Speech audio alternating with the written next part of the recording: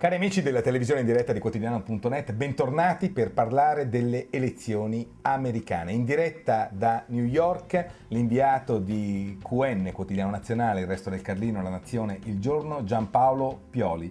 Buongiorno Giampaolo. Buongiorno a voi.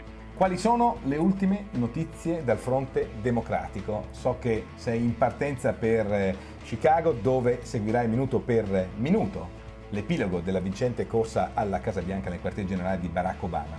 Che aria si respira? Ma eh, sono prudentemente ottimisti gli uomini di Obama e Barack ha già detto che domani mattina mentre la gente andrà a votare lui per scaramanzia farà la sua partita di basket come ha fatto in tutti i giorni in cui si sono tenute le elezioni delle primarie, evidentemente gli è andata bene, ha fatto sempre dei canestri da tre punti. Eh, la questione si potrebbe risolvere domani sera alle 7 ora di New York con Virginia e Indiana, i primi due stati che chiudono i seggi, perché se in questi due stati, che sono stati eh, repubblicani per tradizione, Obama dovesse dominare, tutti leggerebbero questa un'ondata obamiana per tutta la sera e quindi probabilmente prima di, di, mezzanotte si saprebbe chi è il nuovo Presidente degli Stati Uniti e non c'è dubbio che eh, tutti gli indicatori ci dicono a lui. Se invece Virginia e Indiana dovessero diventare stati contesi o addirittura McCain riuscisse con questa enorme campagna elettorale che sta facendo in queste ore a mantenerli, allora eh, la situazione si complica forse c'è necessità di tutti i 30.000 avvocati che sono stati schierati in Florida e in Ohio per contare fino all'ultima scheda. Giampaolo, tu sei un profondo conoscitore degli Stati Uniti, si avverte nell'area la sensazione di essere alla vigilia di una svolta storica, quale ovviamente si registrerebbe se venisse eletto Barack Obama?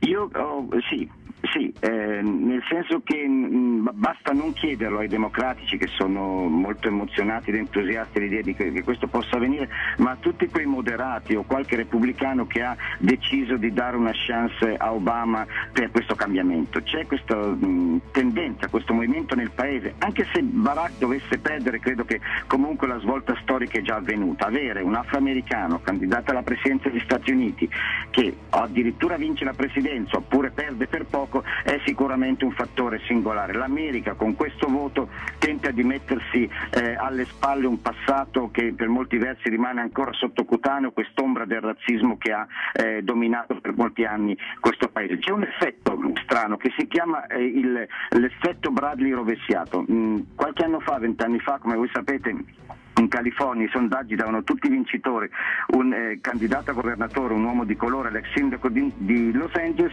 alla fine questo ha perso e eh, il vincitore è stato eh, eh, un altro uomo bianco che eh, lo sfidava. In questo caso molta gente, proprio per, per questo uh, reverse effect, molti bianchi magari non dicono di votare Obama nella scheda mh, mm, nell'urna, ma potrebbero trovarsi a votarlo proprio per dare questa chance, magari non dirlo in casa perché sono figli di eh, conservatori o altro. Tenete conto che la grande massa di nuovi iscritti al voto sono quasi insomma, l'80%, 82% al di sotto dei 35 anni e questi sono neri, bianchi e ispanici. Quindi è una nuova generazione, una nuova generazione che si interessa alla politica, che comincia a partecipare alla vita di questo paese e che probabilmente Obama spera vada a votare in massa domani se non l'ha già fatto col voto anticipato. Giampaolo, telegrafico, ultima domanda. Che cosa fa Bush in queste ore e che cosa pensi che faccia nel giorno del voto?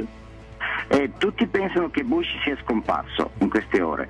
Cheney è uscito l'altro giorno dando l'endorsement a, a, McCain e credo che McCain non l'abbia ringraziato perché subito i, democratici hanno attaccato dicendo avete visto, vi dicevamo che è la stessa cosa, adesso ne è la prova.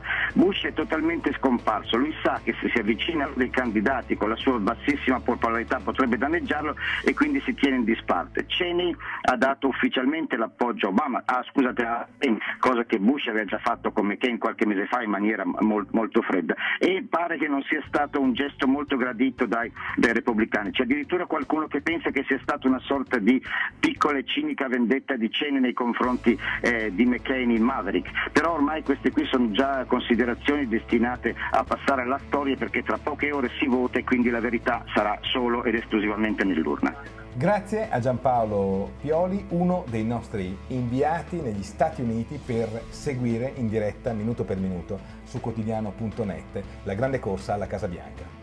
Grazie a voi a domani.